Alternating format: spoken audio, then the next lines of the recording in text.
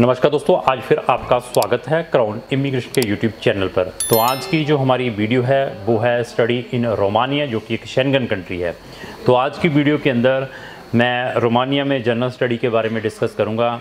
जिन बच्चों की destination Romania Schengen country जो कि एक बहुत ही इकोनॉमिकल कंट्री है फॉर हायर स्टडीज़ के लिए, उनके लिए this is very very lucrative video है।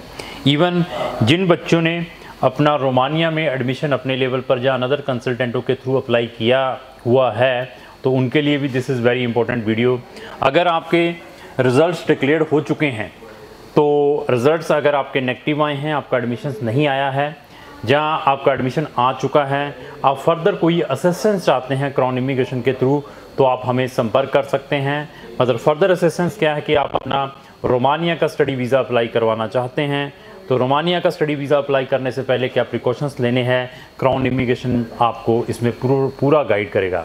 इवन अगर आप रोमानिया की इंटरव्यू प्रिपरेशन चाहते हैं, क्योंकि रोमानिया एम्बेसी भी जहाँ पर स्टूडेंट्स की इंटरव्यू लेती है, उसके टिप्स भी प्रोवाइड कर सकते हैं, क्योंकि रोमानिया में हम नंबर ऑफ़ स्टूडेंट्स को पढ़ने के लिए भेजते हैं। अगर आपने रोमानिया में पढ़ने के लिए जाना है तो हमारी दो डेडिकेटेड प्ले लिस्टें हैं study in Romania success stories of Romania दोनों के लिंक मैंने डिस्क्रिप्शन बॉक्स में लगाए हैं। वहाँ जाकर हमारी रोमानिया की नंबर ऑफ़ वीडियोज़ वॉच कर सकते हैं। इवन इस साल हमारे आई थिंक सो एमबीबीएस के अट्ठाईस स्टूडेंट्स थे। उसकी वीडियो अभी मैंने एक दो दिन पहले बनाई थी। अगर आपने वो भी वीडियो देखनी है तो उस प्लेलिस्ट में देख सकते हैं कितने बच्चों का एडमिशन आया, कितने का नहीं है एमबीबीएस और बीडीएस का। तो आज की डेट में टोटल हमारे पास 16 बच्चे स्पेशली रोमानिया जनरल स्टडी के लिए रजिस्टर्ड थे। जिन्होंने वहाँ पर बैचलर मास्टर करने के लिए जाना है डिफरेंट डिफरेंट स्ट्रीम्स में।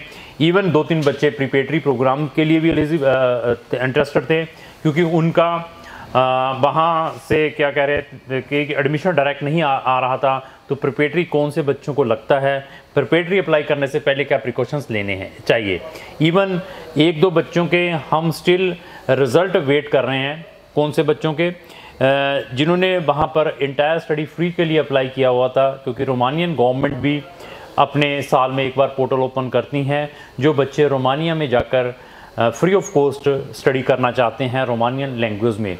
उसमें भी हमने कुछ बच्चों के अप्लाई किए हुए हैं, उनके रिज़ल्ट्स अभी तक आए नहीं हैं। जब उनके रिज़ल्ट्स भी आएँगे, उसके बारे में भी मैं अपनी कमिंग वीडियो में बताऊँगा। अभी देखिए, ये 16 बच्चे थे। 16 में से ये लेकर चलिए कि सेवन बच्चों को हमारे एडमिशन कन्फर्म्ड मिल चुके हैं। बैचलर वाले भी हैं मास्टर वालों की भी हैं। और दो बच्चों के एडमिशन रिजेक्ट भी हुए हैं। अभी रिजेक्शन के बाद उनके लिए फर्दर कोई ऑप्शन नहीं है रोमानिया में। तो ये है कि सिलेक्शन भी है रिजेक्शंस भी है एवरीवेयर एडमिशन्स में भी और वीज़ा में भी। अभी जिनकी रिजेक्शन हुई हैं, उनके लिए दोबारा रोमानिया में कोई ऑप्शंस नहीं है। उसके पीछे बहुत बड़े रीजंस हैं। रीजंस क्या हैं? इस साल रोमानिया ने शेंगन में आने के बाद वहाँ की यूनिवर्सिटीज़ ने एज वेल अम्बेसीज़ ने अपने सिस्टम को चेंज किया है।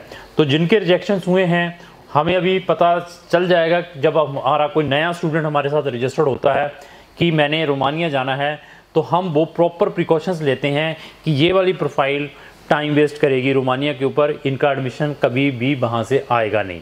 तो इवन कुछ बच्चों के, अभी भी आई थिंक छः सात बच्चों के रिजल्ट्स पेंडिंग पड़े हुए हैं, क्योंकि कुछ यूनिवर्सिटीज़ ने अभी तक अपने रिज़ल्ट डिक्लेयर नहीं किए हैं। ये रोमानिया के एडमिशन्स जो मिनिस्ट्री का इन्विटेशंस आता है, इस टाइप का यूनिवर्सिटी वहाँ पर आपकी मेल के ऊपर भेजती है ये हमने कॉपियाँ निकाली थी, उसके ऊपर कुछ चीज़ें लिखी हुई हैं, हमने अपने हैंड से वैसे फॉर, लेकिन for the purpose of visa वो प्रॉपर प्रिंट निकाल कर हम उनकी फ़ाइल के साथ, बच्चों के साथ लगाएँगे।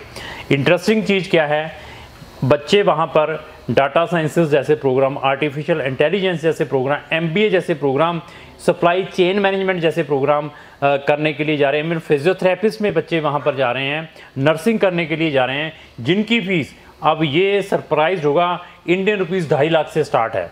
इंडियन रुपीज़ ढाई लाख से स्टार्ट है और वहाँ की लीडिंग यूनिवर्सिटी हैं पब्लिक यूनिवर्सिटीज़ हैं रेनॉर्ड यूनिवर्सिटीज़ हैं और ओल्डेस्ट से ओल्डेस्ट यूनिवर्सिटीज़ हैं, जो ये जनरल स्टडीज़ के लिए बच्चे जाते हैं apart from M B B S M B B S की फ़ीस वहाँ पर अप्रॉक्स सात लाख से लेकर आठ लाख पर ईयर की है।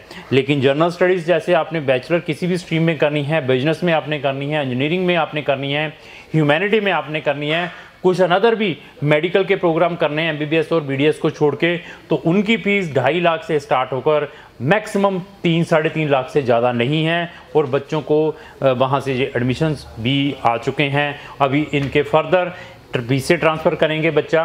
ट्रांसफ़र करने के बाद बच्चों की बैंक स्टेटमेंटों की रिक्वायरमेंट रहती है, क्योंकि फंड्स बहुत इंपॉर्टेंट है। अभी फंड्स किसके अकाउंट में दिखाने हैं?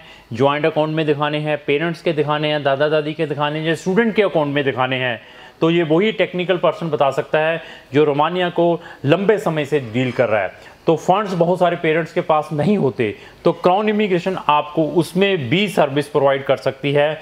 If you have the problem for the funds वो फंड्स आप फिर कैसे शो करने हैं तो हम आपको उसके भी डिफरेंट वे बता सकते हैं। तो आपकी पुलिस क्लियरेंस सर्टिफिकेट कितना इंपॉर्टेंट है।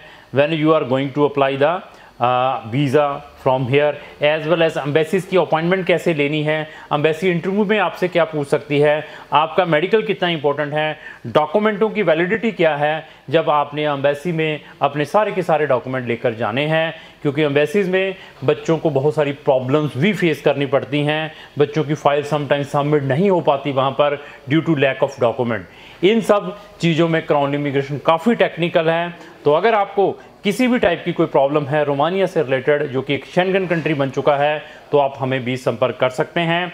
जिन बच्चों के अभी तक रिजल्ट्स नहीं आए हैं तो उनके जब भी रिजल्ट्स आते हैं तो वो भी हम इमीडिएटली बताएँगे।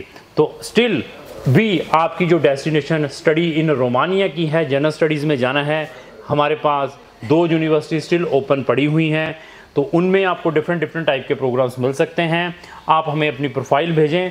प्रोफ़ाइल चेक करने के बाद बता देंगे कि आप उन यूनिवर्सिटीज़ के लिए एलिजिबल हैं या नहीं हैं। अगर आप एलिजिबल नहीं होंगे तो हम आपको स्ट्रेट फॉरवर्ड बताकर बता देंगे कि आप due to that reason eligible नहीं हैं। तो आप हमारी service online by sitting anywhere ले सकते हैं।